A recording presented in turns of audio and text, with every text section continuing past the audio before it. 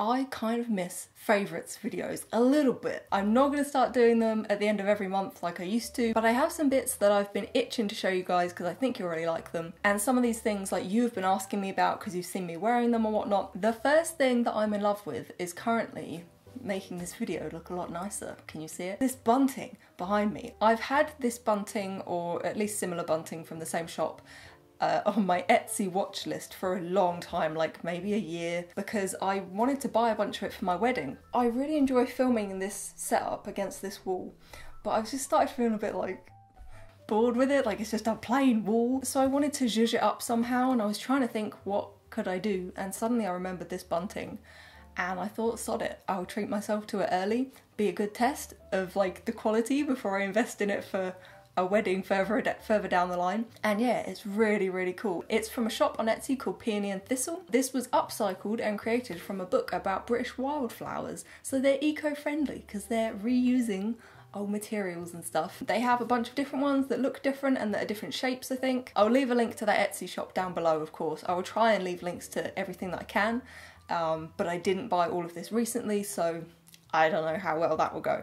Some of it might have gone out of stock and whatnot, but I will try. Next I have some clothing pieces. I share a lot of clothes with Alex. We wear each other's t-shirts a lot. We buy them in a men's XL and just share them between us because that's my favourite size and cut of t-shirts anyway. I don't like ladies t-shirts because they seem to be like made to fit your figure whereas men's are actually comfortable. Breaking Bad is one of my favourite TV shows of all time but I only had like one t-shirt of it and it wasn't even that good a t-shirt and I was like I need to fix this. This is not right. I need to express my love for Breaking Bad better. So I had a look on eBay and Etsy for some Breaking Bad t-shirts and I ended up finding one on eBay that I really really loved. So it looks like this, it's grey and we have Walter White in the middle. It says Heisenberg Blue Crystals, most remarkable curative discovery ever made in any age or country, Albuquerque, New Mexico. The best remedy made, not a hoax, not a scam. I really, really love this. I love the style of it, like it's some oldie worldy remedy that he's peddling. It's super comfortable and a really nice quality print. It doesn't feel like garbage or anything. I really, really like this. This is now one of my favorite t-shirts, to be honest. This next t-shirt is a Walking Dead t-shirt, and this was a Christmas present that I got for Alex. But like I said, we share our clothes, so this is also one of my favorite things. the Walking Dead is probably the show that we have the most t-shirts of. The Walking Dead and Star Wars, they're the ones that we have a lot of. This one was a Loot Crate exclusive. We don't have Loot Crate, but I just did a quick search on eBay and found a bunch of them. It says Negan Sluggers and we have Negan and Lucille. I must confess, I find Negan to be a bit of a sexy daddy. He might be a meanie, but he's a sexy meanie. Really? I haven't read up to that point in the comics yet. I buy the comics and read them very slowly. I buy like two a year. By the way, I'm not going to be like spoiling anything. There's no spoilers in this, but I know a lot of, already about what happens in the comics and just from what I already knew about his character, I think he's bloody awesome and Jeffrey Dean Morgan does an awesome job. This next top I wore in my uh, Lush Cocktails video and a bunch of you were asking about it. It looks like this. It's this hot air balloon kind of blouse. This is from F&F at Tesco. I saw this in Tesco sometime like early January, something like that. And I instantly fell in love with it. I just, I love the little hot air balloon print. I just think it's so cute. I told myself that I would treat myself to this as a reward once I'd completed my taxes. I don't know if you understand what hell doing your own taxes can be. I'm sure there are a bunch of self-employed people out there that don't find it as hellish as I do, but that's because you're clearly better than me at doing it. So I told myself my reward for getting through January and my taxes and everything else was this top.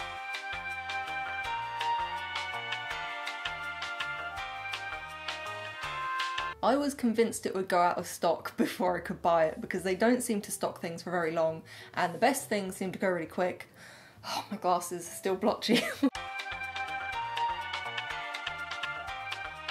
so I went in there after doing my taxes. They were like mostly all gone and I found just a couple left and one of them happened to be in my size and I was like, it's now or never. If I don't get it now, it's never gonna be in my life probably. And I treated myself to it and it felt good. The next thing is another t-shirt. This one I got for Alex as a birthday present. As we've already established, and you probably already know, he loves the ocean and the fishes and the jellyfish and the sharks and everything. I wanted to get him some kind of t-shirt connected to the ocean and the animals in it because he didn't have anything like that. So I did some googling and I found this really cool design on a t-shirt from Brave Soul. I really like it. I think it's really cool.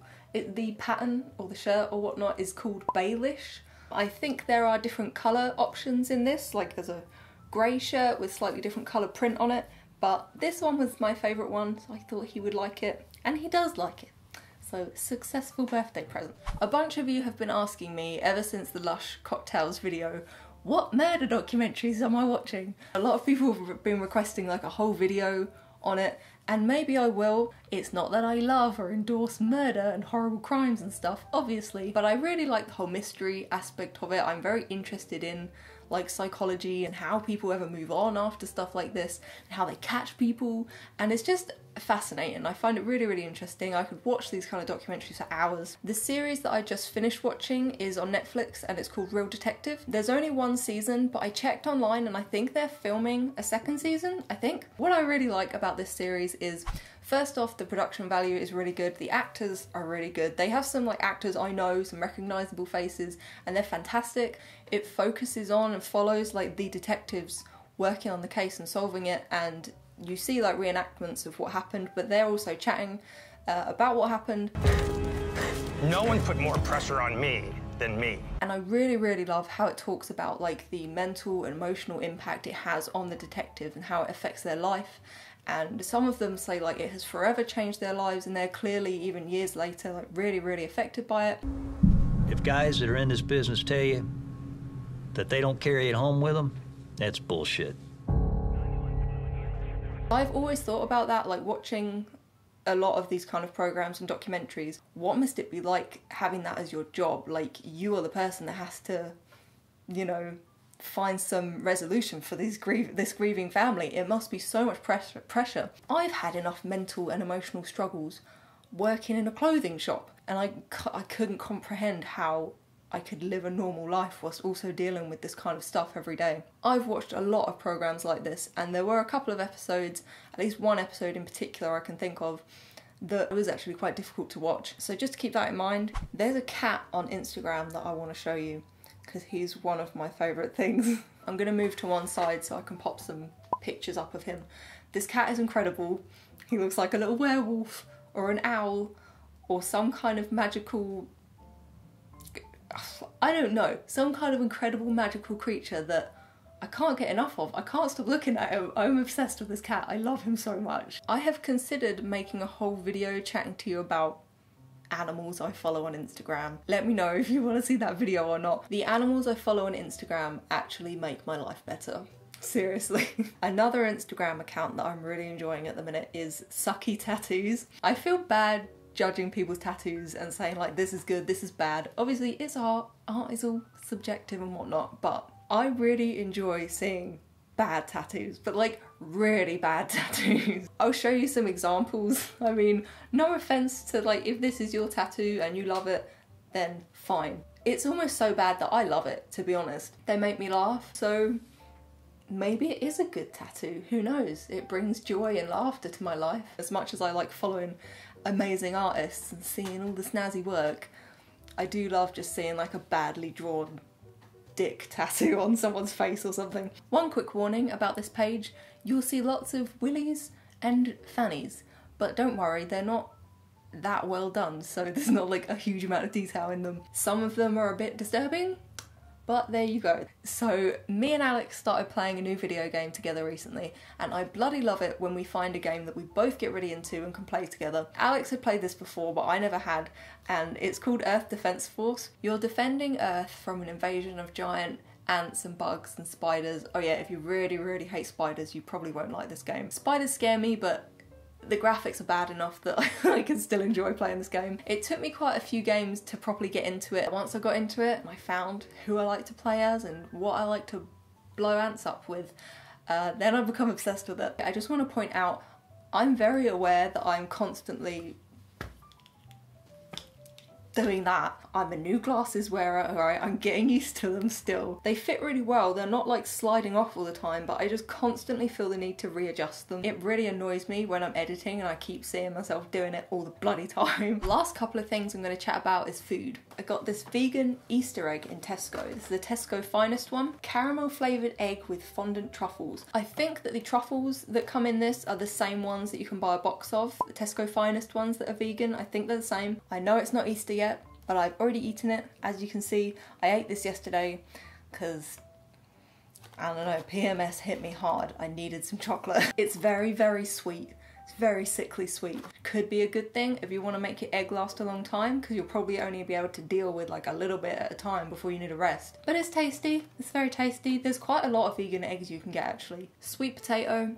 I'm just like on a sweet potato binge at the minute. I, eat sweet potato for dinner like at least a couple of times a week. The only annoying thing about them is they can take quite a while in the oven and I'm very impatient and I, I want my food now. But just make sure you put them in a little bit before you're like really hungry and ready for dinner. I'll link you down below to a recipe from the Minimalist Baker which I don't make with the chickpeas anymore, but I still make the sauce in that recipe quite a lot and put it on my sweet potatoes and I think it's really yummy. I've been having barbecue beans and sweet potato. I grated up some of the Tyne cheese that you saw in my last video and put that on one as well and that was well good. Alex gets full up pretty quick. He picks like medium to small sized ones. I go for the big bad boys. I could win a sweet potato eating contest, I'm convinced. That's everything I have to show you. Like I said, I'm probably not gonna do this monthly anymore unless I actually have stuff to talk about. I'm not gonna like force it.